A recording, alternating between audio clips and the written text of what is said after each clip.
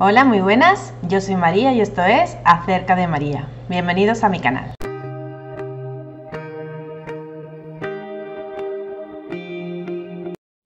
Hoy voy a dibujar peces koi, un dibujo típico asiático. Son una variedad eh, de la carpa común cultivada y perfeccionada.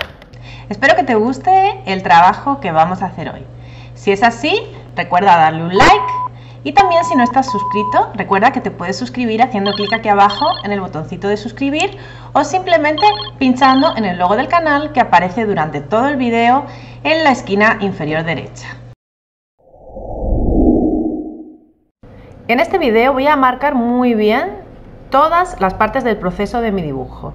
Vamos a comenzar con el boceto. El boceto lo realizamos con un lápiz blando, en este caso va a ser un 3B, y veis que después vamos a ir borrando las líneas, aparte del borrado de corrección, vamos a ir borrándolas para que no quede marca fuerte en el papel cuando después vayamos a colorearlo.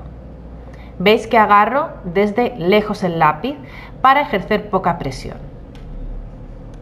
Vaya, eso explica muchas cosas. Ahora vamos a ir coloreando el fondo y lo vamos a hacer con nuestras acuarelas. Vamos a emplear la técnica de húmedo sobre húmedo. ¿En qué consiste esta técnica? Consiste en mojar la hoja de papel, mojar el lugar donde queremos colorear. Veis que estoy haciendo lo que es el fondo, siguiendo el contorno de los peces para que esos queden sin color. Y después con nuestro pincel bien húmedo, impregnarlo de pigmento e ir dejando, depositando ese pigmento en las zonas donde está el agua. Esto nos va a crear un efecto muy bonito que es el típico de la acuarela de ver cómo el color se va expandiendo por toda la superficie húmeda.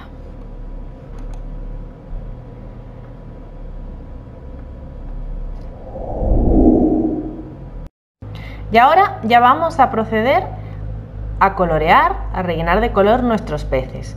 En este caso la variedad que hemos elegido se caracteriza por sus colores rojos, que son símbolo del amor, y negro. La base es blanca. Vamos a empezar dando unas pequeñas sombras y ya vamos a darle el color rojo.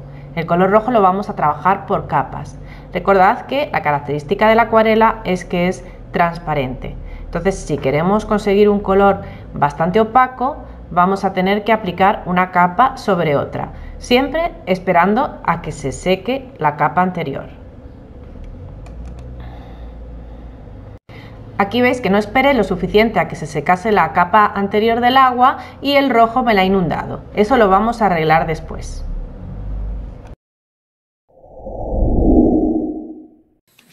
¡Ya no puedo seguir viendo eso!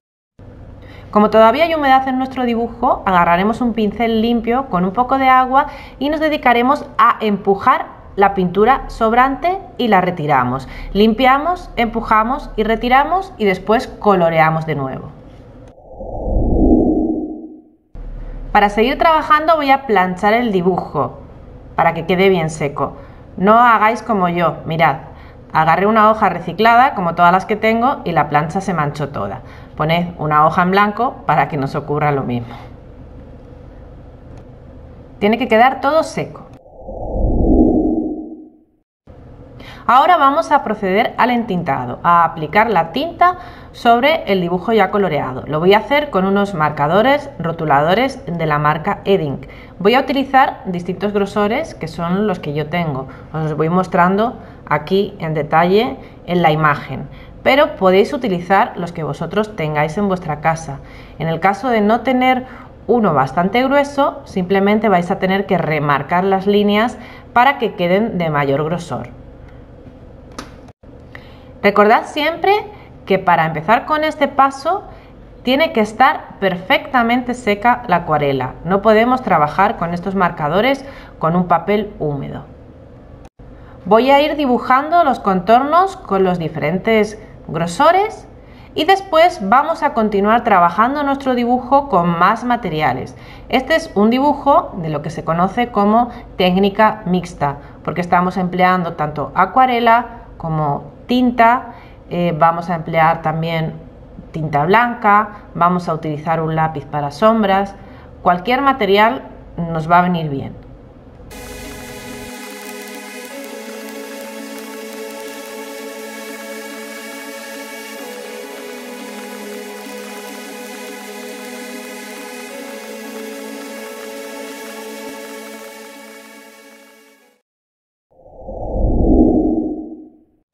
Y ahora mientras le vamos dando más profundidad al fondo con acuarela, os voy a contar una leyenda de los peces koi, que cuenta que una escuela de peces koi liberó unos cuantos en el río Amarillo de China. El objetivo era que desafiasen el cauce del río hasta llegar a alcanzar una cascada que le habían invadido unos demonios.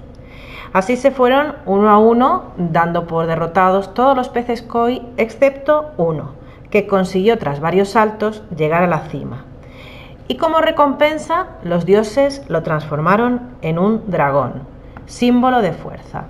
Por eso son tan apreciados estos peces en Asia y simbolizan constancia y positivismo. Por eso vemos tantas representaciones y tantos dibujos en la mitología tradicional de China y de Japón de este tipo de peces. No entiendo. Yo sí. Es que sí entendí la referencia. Con este pequeño dibujo vamos a hacer nuestro aporte a esta tradición. Y aquí solo le vamos a aplicar unos pequeños detalles con tinta blanca. Vamos a utilizar un rotulador marcador, si no podéis utilizar también un corrector o en su defecto un pincel con algún tipo de pintura, ya sea acrílica, wax, que sea totalmente opaca. Como veis, también estoy trabajando un poquito las manchas para dejar los contornos más difuminados, más naturales.